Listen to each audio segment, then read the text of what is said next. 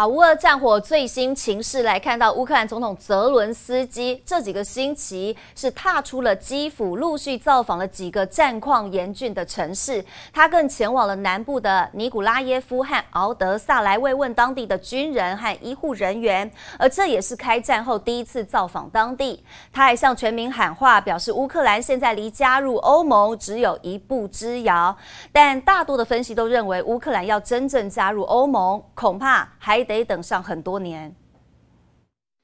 乌克兰总统泽伦斯基在一众幕僚官员的见证下授予军人徽章。他近日前往尼古拉耶夫和敖德萨两座南部城市，是开战后第一次现身当地。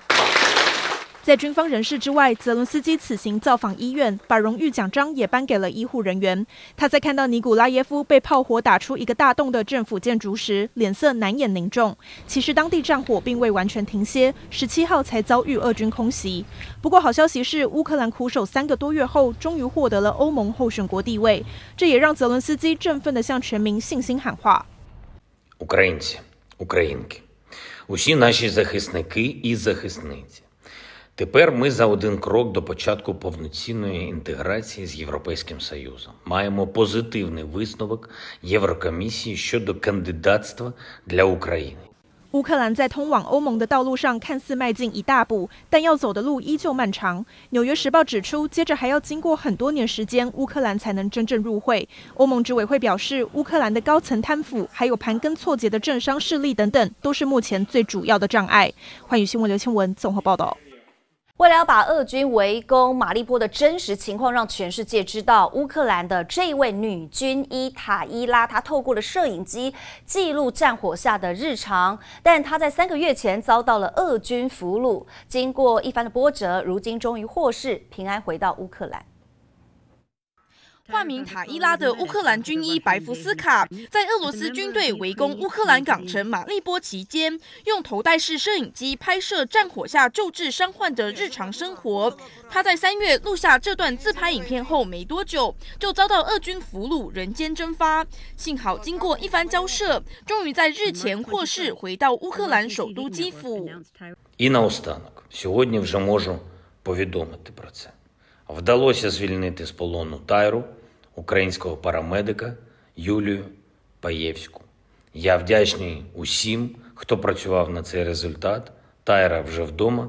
Будемо працювати і надалі, щоб забрали усіх. 塔伊拉一共拍下了两百五十六 G 的影片，并小心规避俄军搜查，将记忆卡偷渡出去，转交给美联社，希望让外界看到乌克兰在战火下的真实影像。影片中可以看到他救治受伤的平民和士兵，就算伤者是俄军，也一视同仁抢救。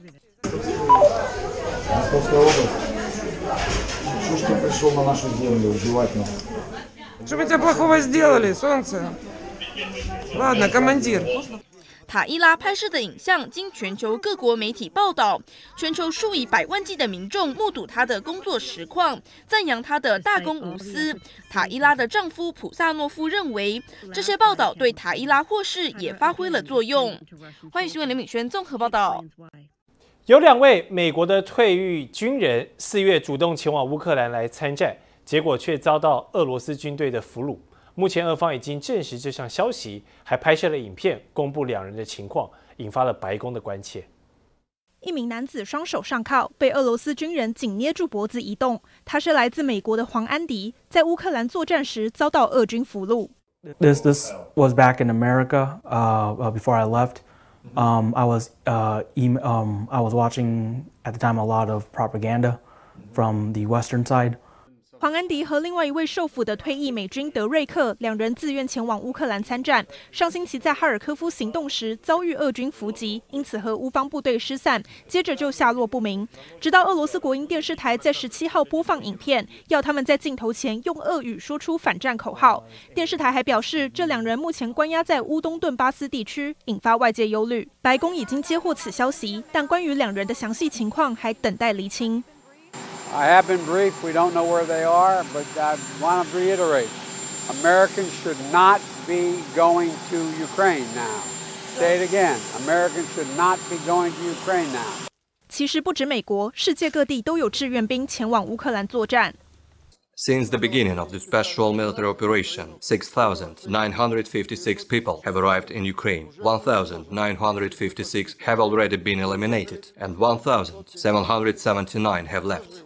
据俄罗斯说法，在这将近七千名志愿兵中，来自加拿大和波兰的人数最多。在乌克兰丧生的外国士兵也以波兰人居冠。虽然国际公约声明，任何战俘都应该享有人道对待和公平审判的保护，但俄军认为这些替乌国作战的外籍人士是佣兵，因此不受法条保护。与此同时，乌东的北顿内此刻持续进行激烈战斗，士兵们无论国籍，伤亡恐怕都要持续增加。欢迎新闻刘庆文综合报道。俄罗斯总统普京出席有“俄国版达沃斯”之称的圣彼得堡国际经济论坛。他在演说当中炮轰美国，还有他们的盟友，对俄国寄出疯狂的制裁，而且还说不反对乌克兰加入欧盟，希望在特别军事行动结束之后，与乌克兰可以恢复到正常关系。有一段时间未公开露面的俄罗斯总统普京，十七号出席圣彼得堡国际经济论坛。在这场西方官员缺席的论坛中，普京火力全开，抨击西方国家对俄国寄出犹如双面刃的愚蠢制裁。безумных и, я бы сказал, бездумных. Их количество, а также скорость штамповки не знают прецедентов. Расчет был понятен. Нахрапом с наскока смять экономику России за счет по уровню жизни людей. 普京也批评美国以上帝在地球上的使者自居，傲慢地把其他国家当成殖民地，导致世界变得不稳定。他并警告，以美国为主的单极世界时代已经结束，未来事态将会大不相同。普京还说，不反对乌克兰加入欧盟，但在乌克兰的特别行动会继续下去，但又说接着会恢复关系。Не не является военной организацией, она последовательная, понятная. мы ничего не имеем. Количество, а также скорость штамповки не знают прецедентов. Расчет был понятен. Нахрапом с наскока смять экономику России за счет разрушения бизнес-цепочек, принудительного отзыва западных компаний с российского рынка, заморозки отечественных активов. 只是攻打完乌克兰，再说要跟人家恢复正常关系，普京这逻辑也真是让人摸不着头绪。听在乌克兰人耳里，恐怕难以接受。但糗的是，这场论坛遭遇网络攻击，让普京这场演说延迟了一个小时才开始。欢迎收看《台联综合报道》。Hello，大家好，我是华语新闻主播孙艺琳。现在只需要一百八十秒，你就能掌握最新国际新闻动态。立刻打开你的 Apple Podcast，搜寻环宇 Hashtag 关键词新闻，并点击右上角加，就能收到第一手国际震惊科技即时新闻。只要我们频道记得点选五星以及留言跟我们互动哦。环宇关键字新闻 Podcast，让你一天一 Hashtag 聊天不 lag。